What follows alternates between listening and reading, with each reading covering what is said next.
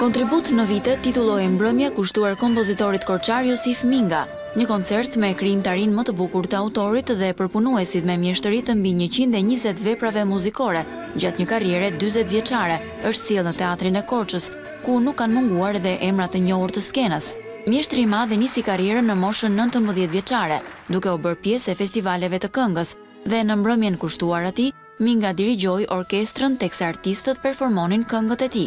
Në Festivalin e njëmbëdhjetë kam qenë nëntëmbëdhjetë vjeçar, isha krijuesi që hapa festivalin, isha dhe instrumentist në orkestrën simfonike edhe pastaj vijuan domethënë. Në atë lloj regjimi, një mënyrë të tillë që duhet të ishim të përballuar me të gjitha llojet e e zhanreve në muzikë. Do, prandaj, kjo na bëri, na bëri edhe mirë në një farë mënyrë, sepse u angazhuam në të gjitha drejtimet. Koncertet e para të mia recitale kanë qenë nën drejtimin e Josif Mingës në gjithë jugun e Shqipërisë.